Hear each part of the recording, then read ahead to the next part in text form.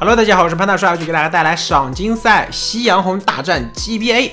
这里是彻夜，因为波二啊，地图依然选择了是军工厂，然后被 ban 掉了他的绝活风眼。这里上来了一个邦邦邦邦打这套阵容，我觉得还不错，啊，还不错。那他们这边的一个阵容选择配置应该也是针对这个红夫人来打的，而不是说是针对这个邦邦的。所以这套配置一旦是有人倒，特别像调香师啊、守墓人这些，在邦邦面前，说实话六的一个能力也不是特别强。我们看一下这边的守墓人，哎，没机会，真的是没有机会交铲，一点机会没有。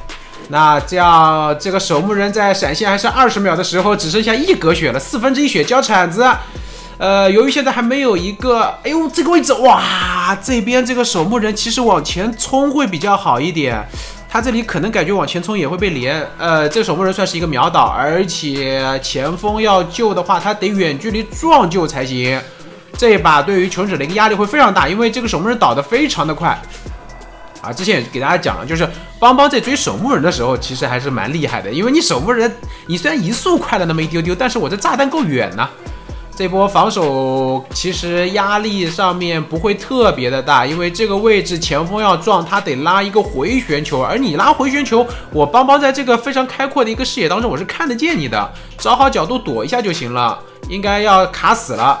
呃，这波卡死救之后，求生者要想办法是保平，因为邦邦在开门战的时候，其实他的一个实力不是特别强，加上现在邦邦大部分不带一刀斩，哎，这边能不能炸一下？好像距离不太够。我们看这把是六哥的机械师，六哥的机械师现在修的还是比较舒服的，但是面对求生者这个倒的太快，你这修的快也没有太大用啊。这这个守墓人应该要放了。而我们要注意一点，就是前锋这边受了一割伤，而屠夫这边的闪现是一直没有交掉的。在闪现，哇，这个闪现交的稍微的有一点点，有点点着急了。呃，前锋这边还剩下一大半的球，这个时候既然没有闪现，我觉得可以不要追前锋，选择来换一个人追会更好一点，因为前锋这边的球还是还是够溜你一轮的。好，这边看见的是娃娃，娃娃现在剩了一半电，这个半电的娃娃被打掉，求者的一个修机压力又会非常大，场面上只剩下三个人。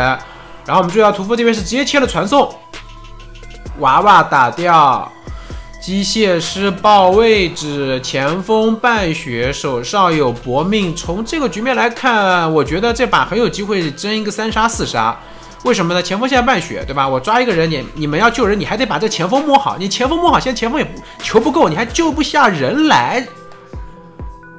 这边好像是大致感觉到了人的一个方向，这边在丢炸弹连。啊，这个炸弹没有准备，是他准没有准备抛物线梁，就是丢丢了。然后如果你走位失误呢，吃一颗炸弹。前锋这个位置拉走追调消失也行吧，追了这条是前锋根本救不了人。再拉，哎，这应该是一个失误吧？这个定时炸弹炸的，我感觉这彻夜前面打的非常的帅，怎么到了中期，特别就从刚才追前锋那个闪现开始，好像有一点点迷了。现在这个炸弹丢的有一点点问题，把它锤回去。哎，这边调香师哼哼，这个非常的优秀啊。等炸弹结束了以后再回去。那这边连一下，连到再打一刀。前锋的位置在哪里？我们看下前锋，前锋在修中间的人皇，还差一颗炸弹。三秒钟以后有定时炸弹，追击，等。哎呦，这个定时炸弹感觉又放的有点问题。这两颗定时炸弹出事情，幸好这里是卡在了一个死角上面。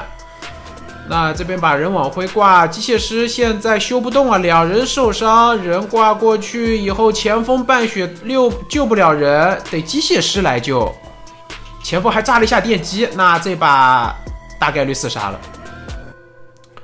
当然前提是这个邦邦不要再出现一些问题啊，他这。两波还是在追击的过程当中出现了一些比较大的问题，给了一些机会的，只不过他前期的一个，哎，这边卡住你的位置，炸一下，哎，很舒服，谁来救？来救的都得死，好吧，真的，谁来都得死，别来了，这个时候真的别来了，这调教师怎么救？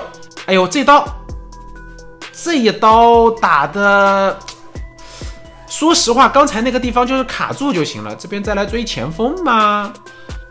他这边是一个传送，前锋交掉最后一丝球，这边翻进去呢，连一颗炸弹不翻，他的这个定时炸弹丢的真的是非常的有问题啊！幸好是炸中了，就是人家的定时炸弹是丢出去以后引爆的，他这丢在地上面引爆，总感觉是怪怪的。嗯，当然这把应该是不影响他四杀，这边可能可以直接传送过去，求稳一点的就守着。因为电机差的真的太多了，现在场面上这个机械师完全修不动。然后呢，这调香师上过挂的半血，两边在摸，这两个人摸血，邦邦也不急啊，真的不急，就是守着就行了，把这前锋守死都行。剩下的电机太多了，没有太多的一个机会给求生者来进行一个喘息。就是这把。刚才我倒是觉得，其实不来救，哎，不来救也没有办法，因为这前锋这台电机也在这个位置，你不救嘛，这邦邦出来打你，对吧？你来救，可能如果救的秀一点，还有一点机会，嗯，也行吧。这一刀打完，香水回，香水回了，那你这救不下人来了。刚才还不如直接冲过去把这前锋给捞了，这这这，哎呦，这刀打他干嘛呀？感觉彻夜现在就是。优势太大，感觉这随便打了啊！确实，那这几波防守，我觉得如果打得好一点，应该是都救不下来的。在一个开了这个二阶技能的邦邦这么长距离的炸弹的面前，应该是完全没有机会的。那么这一把如果完成四杀呢，就是肯定将比赛拖入了这个波三了。然后。那个 GBA 这边的求生者要做的就是尽量争取能够跑越多越好，但是呢，绝绝对不要被四杀就行啊，绝对不要被四杀就行。把这局拿下，那么下一局看比分喽，对不对？如果说能打个三跑，那么大家从从零开始；如果说对吧，不能打三跑，那至少跑一个，然后呢，就是至少还有翻的机会，对吧？赢了也能翻。这里机械师在点中间的电机，这两个人都是一颗炸弹倒，这也太太凄惨了。还是开局的时候抓的比较快，这把哎，这这个定时炸弹就对了嘛，这对不对？这正常定时炸弹就应该这样子，你你你要想挂人，应该不会吧？这只是牵起来应该找个人而已吧？好，看见了，看见了，看见了，看见了，可以把人挂上。这个一挂的机械师，哎，还是求稳，还是求稳。这里慢慢来吧，应该是逃脱不了被四杀的命运了。还是开局太顺了，这把开局太顺了。然后前锋那边也是那个椅子太过于宽阔，没有让求生者有任何的角度去撞啊。要不前锋没什么角度可以撞的，你没角度撞，你想要去救人，那种局万一吃个烧倒也是四杀，不就是比较好的一个选择了。哎，这边躲，哼哼，这把的这个调师其实操作上面也是非常秀，特别刚才那个等炸弹回。等炸弹爆引爆之后再回溯啊，那波也是看出了他调香师的一个功底。牵起这个机械师牵起来，可能能挣脱下来呀。椅子比较近，还行。然后那边传送过去，挂上一个非常中间稍有不足，但是从头到尾基本上悬念都不大的一个四杀。这就是邦邦邦邦前期累积的大优势，真的太难翻了。好的，我们稍事休息，看下半场。